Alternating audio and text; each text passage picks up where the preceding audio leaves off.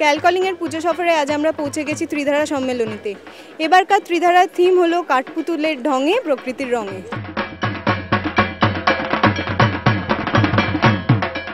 এই মুহূর্তে আমরা রয়েছি ত্রিধারা সম্মেলনের কালচারাল কনভেনার শুভজিৎ চক্রবর্তীর সঙ্গে। হ্যাঁ আমাদের এবারের পুজোর ভাবনা হচ্ছে কাঠপুতুলের ঢঙে, প্রকৃতির রঙে।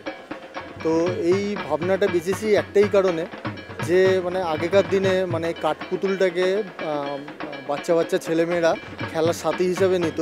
কিন্তু আজকালকার দিনে ভিডিও গেম বা আপনার রিমোট কন্ট্রোল এইসব মানে বাচ্চাদের মনে অন্যরকম ভাবনা। সেই পুরনো দিনের আমাদের ঠাকুরদা ঠাকুমাদের এই পুরনো দিনের কাঠপুতুলের ভাবনাটাকে ফিরিয়ে দিতেই আমাদের এই প্রচেষ্টা